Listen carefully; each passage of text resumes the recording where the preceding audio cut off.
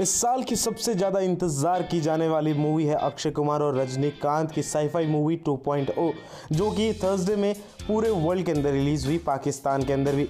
इस मूवी को सीबीएफसी की तरफ़ से क्लीन चिट मिली और पाकिस्तान में भी इसे दिखाया गया। अब आपको हम बताने वाले हैं पाकिस्तान में इसके कलेक्शन के बारे में। ये मूवी जो है एंथीरन यानी कि रोबोट पहला जो पार्ट था, उसका सीक्वल है। इस मूवी के अंदर भी आपको डॉक्टर वशीकरण देखने को मिलेंगे, लेकिन विलन इस बार चेंज है।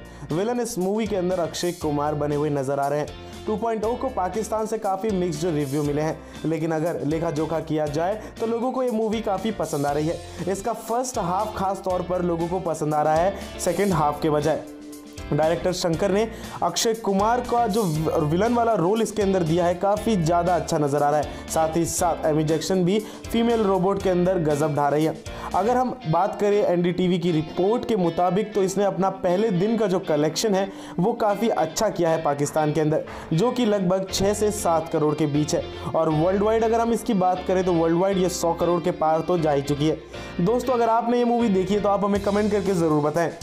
कि आपको ये मूवी कैसी लगी है? सब्सक्राइब करें, देखो देखो। जुड़े रहे हमारे साथ, क्योंकि बॉलीवुड से जुड़ी आपको हर खबर यही मिलती है सबसे पहले।